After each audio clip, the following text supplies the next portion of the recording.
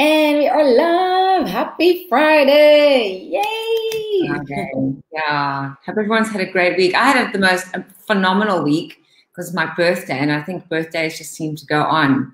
So I have I've had a whole amazing, beautiful week of, of birthday celebration, celebration of life, which uh, I think is very relevant for our topic today. So the topic today is happiness is a choice. So it's not a right, it's not an expectation it's a choice, but it requires work.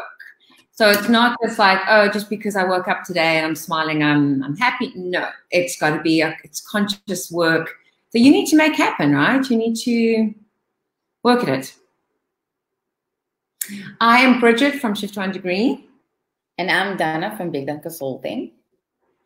So the tips we're going to share with you today are around happiness as a choice and the first one, which is which always always comes up, I think, with everything around personal development and personal growth, is gratitude. Be grateful. And I don't know about you, but but this morning, like I had a bath and I was like, it's amazing. And last night I got into this warm bed and I had a electric blanket and I was like, it's amazing. And it really is about being grateful for whatever you have, whatever it is. So I've actually had yesterday a live one in a different language, and the lady over there said some nice thing that I'll connect to the grateful. She said every morning when you get wake up in the morning, write to yourself five things that you're happy with that going to make you happy today that you're going to be grateful for them today. It can even be um, the morning coffee. It can be whatever you want even a smile from your partner whatever but just say five things that you know going to make you happy today and going to help you to be grateful because that's part of it you know like i myself i'm also always saying thank you not only for what i've got but also for the challenges that i've got in life because this is how i grow. If i won't have the challenge i always stay in one line and that's not where i want to take my life to. So i'm even embracing this. Yeah Easier, easier said than done, but yes, yes, I, I, I do. Yeah, That's why it's called growing pains, right? So it's hurt, hurt, yeah, but like you need it. So you can mm-hmm. also show us in the comments here below what are you grateful for. Um, The second one, which is my favorite because that's me, carry a smile.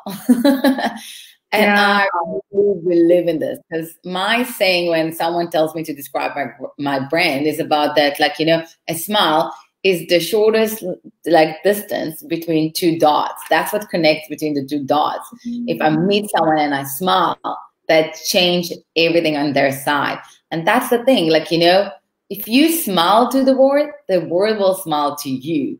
And that's how it goes. And yeah. if I'll come to you and you'll be so grumpy and miserable, and I'll come and I'll smile and come with a nice attitude, automatically it's going to impact you one way or another, or you're going to smack me in my face. yeah, I mean, I've, I've noticed since uh, doing my bi weekly networking events with Helen, who's a laughter yoga coach. And so we start off the session with laughter yoga and it, like every single time. I mean you just you know you kind of start and everyone's kind of sitting there waiting and then you know she does her thing. It's like only just a few seconds a few minutes whatever and it's like you end up laughing. Then we talk about something around personal development and then we end it with a with a laughing yoga. But it's just it just makes life so light. And i was sharing in the group yesterday which i want to share again today. I, I shared this thing on facebook where I, I think the, the guy's called the kiffness something like that anyway, it's very, very entertaining. And, and they're talking about, he's talking about, um, I think it was him, that if Cyril was Mexican, how he would be doing his speech. And it was so, so, so funny. And I think if we can look at the. talking about this guy. I know who you're talking about. Oh, so there's this guy that every time they put him and link him to different topics, but his laugh is addictive. You it's like hearing a baby laughing that you automatically mm-hmm. want to laugh with him. That's yeah. the style. Like yeah. There's nothing better than smiling and laughing. It just makes life okay. You know, you were like like there's lockdown and then there's load shedding and then people can't drink and people can't get cigarettes, but it's still okay. We can still laugh about it, you know. So yeah, that's that's what he was saying, which I thought was great. So the next one is about affirmation. And I think affirmation is very, very important because the opposite of that is when I think we all have a tendency to to I don't know, put ourselves down or be dismissive of ourselves or, or say negative things. And so to do the opposite of that is affirmation and positive affirmation. Does that resonate with you? Yeah, definitely. You know, and that's what we all look for the positive stuff in our life, you know? It's so easy. It's like I was reading in a book of Osho that, you know, as human being, we're always looking for the, um, like to be miserable in a way. We're always looking how we can be blessed in everything and so many things that we're actually missing the point of enjoying the small stuff, you know? Be grateful for all the little things and, you know, just be happy. So yeah. I really resonate with this. Um, the next one is to actually wake up on your own terms. And I really like it because, you know, you, when you wake up, just because you wanted to wake up and you're not stressing, like even if you know that you need to be ready for something like early in the morning. So wake up before, like on your own terms, take the time. If you're the kind of person that needs to take your time, make sure you're getting it, you know, make sure you don't start the day like in a chaos right? Mm. That's going to impact the rest of the day. That's going to impact if you're going to be grumpy for the rest of the day, or are you going to be happy and smiling or not? And that's part of it. Um, if you got the opportunity to wake up every day at 10 o'clock in the morning and then start working, so do it. Why not? Who cares? You know, do what's right. We just spoke about it before we started that Bridget, for example, she likes to go to sleep early and wake up early, and I'm the opposite. I need to go. I go to sleep very late although I wake up early, but I wake up on my own terms. You know, I'm I'm super fine with this, and I'm chilled, and I'm taking my time. And sometimes I'm even just working from bed for a bit because this is my term. This is how I want the day to. So I'm fine with it. Um, I've never had to use an alarm, even when I was getting up at ridiculous really? hours. Never, never, never, never, never, never, never.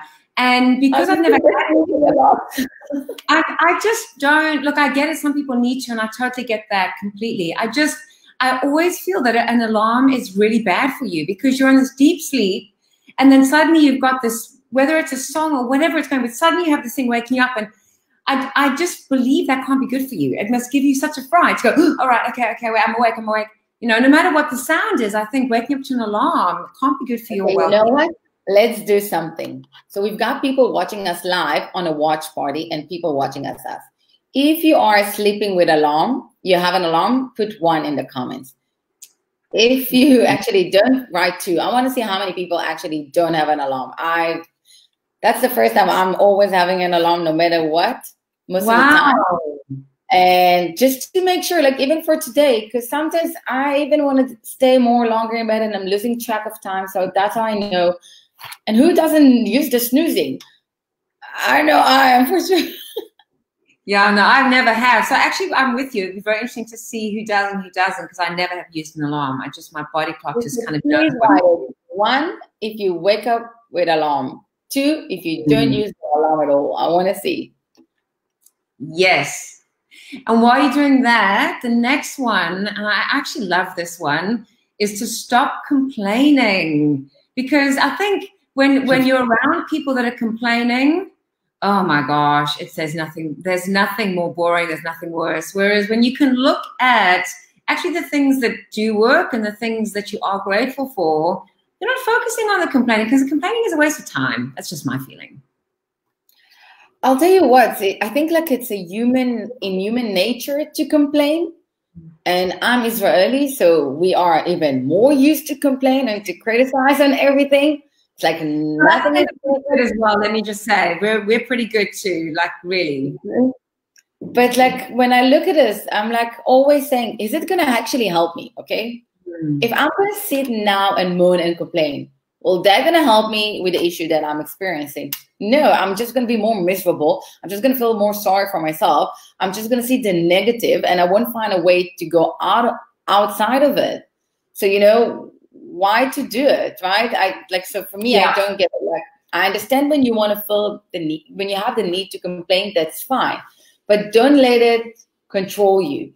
Don't let it like you know dictate how you're gonna deal with the issue or stuff with life. So it's just gonna make you. you spend time. I don't. I don't have any single person in my world. I don't have any friends who spend their time complaining because I personally do not want to spend hours on end with people that are just constantly complaining because like what's the, what's I may as well watch the news then. I mean, what's the point? Like seriously, it's just for me that's just so negative, just complaining. You know, there's there's always a solution. There is. And before we're moving to the next one, I just want to say that if there's someone here, uh, so what we're doing every Tuesday, we're going live here and we're talking about marketing. So if you have any topic questions that you want us to answer, is it the different social media platforms, how to get more business opportunities, any topic, just write it down in the comments. And that's going to be the topics on the Tuesday that we do marketing. And every Friday we do on the personal development side. So if you also have topics there, you want to talk about anxiety, procrastination, anything, that's your time. And if someone want to go live with us, um, for us to give him like tips on his business, on his life from a personal development and marketing side, just send us a private message or you can put your details in the comment below. And we're going to contact you and you're going to go live with us. So it's free of charge. So why not, right? Join us. Yeah. Okay. Yeah. So the next one, and we're talking about happiness is a choice is that you know practice one life improving discipline you know? Mm. if we can improve the discipline if we can say to ourselves those are the things that we need to commit to and have something to work towards to it's just going to help us you know? It's just going to help us improve ourselves. Because um, basically life is a journey you know? Um, mm-hmm. and every little thing we do and experience in life is part of our journey. And i'm as a marketing person you know I always believe that we all have a certain story behind our brand, and that's part of it. So, you know, it's part of the journey. So, if you have some stuff, and I always say, do a SWOT analysis to yourself, learn what's your weaknesses, what's your strengths, the challenges, and that's part of it. If you see it as a negative thing and you want to improve it, that's the time, you know, make it happen. And you're going to feel so happy after, not only because, you know, you conquer that part, and also mm. you see the improvement and see how it's going to impact your life. It's just a cycle. So i think also if you um i've had a this this a week of just doing like you know having i had my eyes test yesterday and I had very uh, various things done because i think it's important these things to do every you know a few years check everything out. And a, a big thing is um so for me i've just turned 47 and so things you know things kind of make a bit, bit of a things change slightly as you get older and you have to be more mindful about your eyes and various things. And, you know, a big thing is definitely lifestyle. And, and that's exactly people that I've gone to see this week for various things. That's exactly what they said. You know, lifestyle is, is really, really important. And when you make something a habit, it doesn't become a discipline. It just becomes a habit. It becomes a way of life. So yeah, I think if it's for the betterment of you, body, mind, and soul, why not? You know, why not? Because yeah. that ties into the next one, which is our strengths. So if you know what you're good at, and I, I, I definitely by this stage of my life, I really know where my strengths lie, and I really know where my challenges lie. And I always say that when I when I talk about say yes, that I do part time work for, and we have a, a team. There's a team of us, and each person brings a different strength to the team. And as a team, we are it's a, it's an amazing team. And if we were one person, my gosh, maybe we'd even be perfect, you know. But as individuals, we don't all have the same strengths. And, and just focus on what you are good at and don't worry about where your challenges lie. Outsource those. That's what I believe. No, so that's why I really recommend. And if someone wants, like, I'm gonna also put like a link to like a template of a SWOT analysis, but really do it. You know, when you hmm. have your own business, you want to know what's your weaknesses. You want to know what's your challenges because those are the things you won't commit to as part of your message in your business. That's part of the thing that you're going to put to yourself as something that you want to, you know, overcome. And you can find like overcoming it. It can also be like, even let's say if you're procrastinating things, there's a lot of softwares and apps that you can use that will keep on reminding you to do stuff, that will help you manage it, you know, like your schedule. I don't fully agree with you there on the on working on the strengths. Like maybe some of them, but I, but I am also thinking that we've only got so many hours in a day. There's only you know the things we enjoy. If I don't enjoy doing something and I'm not good at it, I swear to you, I'd rather pay somebody else to do it and for them to do it, and I can focus on the things that I love to do and that I'm really good at. Yeah, but that's the part of it because basically it's what I'm saying. So you can either overcome it by finding a software or something that will remind mm. you, or you can outsource it. Yeah. But that's how you're going to actually overcome it. But you need to be aware for what's your weaknesses, what's your challenges. If you're mm. not aware, if you're not honest with yourself, how can you actually grow? You know, how you can actually even grow your business? Because sometimes we don't even get it, but like small stuff can take us to our weakness, and then we don't know how to deal with this, and then we can actually mm. destroy our brand. You know, get a bad reputation because we didn't commit to something and the expectations yeah. were not the same. Um, which actually also links to the next one, which is to accomplish one important task. And you know, we spoke about it so many times in different podcasts about you know, get the little wins. You know, put a, like, yourself a task or two for the day that that's a must for you to do today. Mm-hmm. Right, those are the things that you want to do and complete. And look at the small wins. Don't look at the big wins. Yeah. It's not no. about the big ones enough. It's the small ones. I actually love that. I, I, have every every Thursday I have a mentoring session as being as part of Say Yes, which is which is amazing. And in there, I'm I'm really good at at saying to my mentor, like he'll say, "Oh, this is this," and I'll say, "And I'm flipping amazing because I actually managed to do this, this, and this." And he's like, "Wow, that yeah, that is pretty good," you know. So, like, I think when you do something, whether it's phoning an extra person, I don't know, um, writing in a journal, whatever it is, but when you do something, like acknowledge it and be proud of yourself for doing it because that's important. It is. And you know what? Having a business, we keep on saying it's a roller coaster. You're up and you're down. And there will be so many times that you maybe think of giving up, right? That I'm done. It's not working. I don't know if I can do it. That's it. And even like even relationships and stuff. But you know, look at the little wins, like the small ones, that things are gonna happen. Okay, that's the reminder I needed to why I do what I do. I can keep on doing it. That's the yeah. reminder of why I'm staying here in this relationship with things. Look at the small things, look at the small victories. So just every time accomplish at least one small task that it's important for you, that's going to help you to promote yourself, and you can do it. Mm. Yes. I'm actually my my next bi-weekly networking event is on this particular topic. So for people who who would like to actually discuss this in a in a, in a networking um, situation or event, then yeah, I'll, I'll put the link in. Cool. So you're just gonna sum it all up, like we are talking about happiness is a choice. So how you can actually work it out. Yeah. So should we should we go through each one? Yes. So the first one is being grateful. Yes. Carry a smile. Daily affirmation. Wake up on your own terms, and you still didn't reply to us if you wake up with a clock, uh, an alarm or not. I just want to know. I'm intrigued to see how many people actually don't have an alarm in the morning. uh, stop complaining. Yeah, um, and just you know, improving discipline. Discipline. and focus on your strengths. And accomplish one important task the little wins, the small victories that we have. Yeah. And then we'll be back on Tuesday and we will be discussing something in relation to marketing.